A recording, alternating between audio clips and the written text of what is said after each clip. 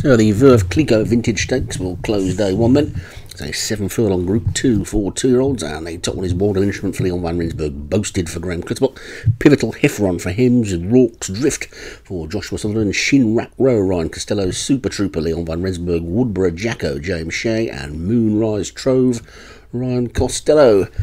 Eight then in this group two, and the rain's coming down, they're all installed, and away they go.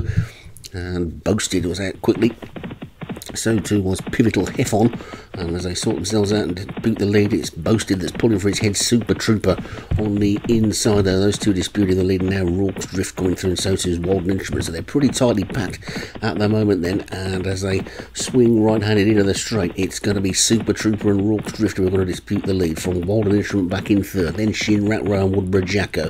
Boasted's lost its place, then Moonrise Trove and Pivotal Heffron, despite that good start, is now the back marker, but Rorke's Drift got the rail. Jock having a look over his shoulder. He's too clear of the Van Rensburg pair Super Trooper Walden Instrument. Shin Rat Row is fourth. Then Woodborough Jacko on the inside with on that one's outside. Boasted Pivotal Heffron widest on the track. Then Moonrise Trove is now the back marker. But it's Rorke's Drift with a length lead then down towards the final three furlongs. Rorke's Drift, but here comes Super Trooper Walden Instrument. Walden Instrument sweeping up on the outside to challenge for the lead, but it's still Rorke's Drift.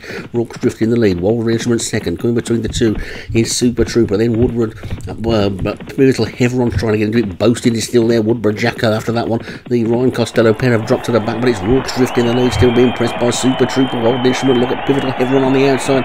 They come down towards the final furlong. It's a head bowl between the Van Rensburg and the Sutherland horse. It's Rorke's Drift and Super Trooper. Rorke's Drift on the inside, battles back into the lead again. Pivotal Heffron's trying to get back into it. Pivotal Heffron now swoops onto the line, and Pivotal Heffron takes it from Super Trooper, Old Instrument, and Woodborough Jacko. And Rorke's Drift was unlucky. Looks like it needs a bit further, that one.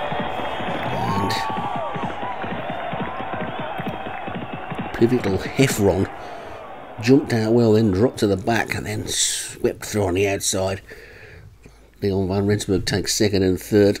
And Pivotal Heffron takes it for Hems. He's had a good day today. Second was Super Trooper for Leon Van Rensburg, was also third with Walden Instrument. Woodborough Jacko for James Shea was fourth, and Boasted for Graham Clutterbuck was fifth.